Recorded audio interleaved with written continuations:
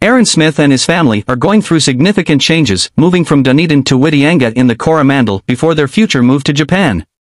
As he prepares for his latest rugby championship and World Cup, Smith welcomes a new teammate in the talented Hurricanes defender Cam Roigard. His excitement about representing the All Blacks remains unchanged, as does his desire to hone his skills and help his teammates.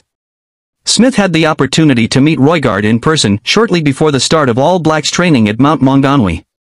Impressed by the young player's recent performances, Smith has expressed his delight at Roigard's selection and looks forward to working with him. As a veteran of the All Blacks, Smith feels the energy and enthusiasm rookies bring to the team and remembers what it was like to be in their shoes early in his career. Despite an emotional farewell to longtime team Highlanders after failing to make the Super Rugby playoffs, the call-up to the All Blacks provided new motivation for Smith.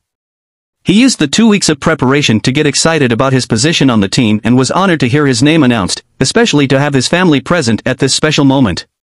Some members of the All Black squad have yet to join the group due to participation in the Super Rugby Pacific final between the Chiefs and Crusaders.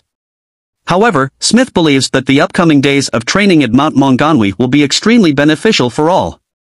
In addition, Tevita Mafileo, Asafo Aumua and Stephen Perofeta have been called up to train with the All Blacks until Friday, which will bring more energy and expertise to the squad.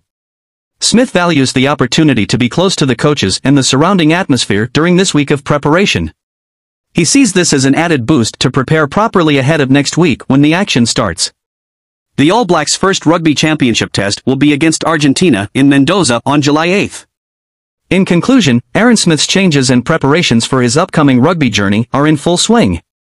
His excitement about representing the All Blacks remains strong, as does his desire to improve and inspire his teammates. Please like and comment to show your support for Aaron Smith and the All Blacks at this exciting stage in his career.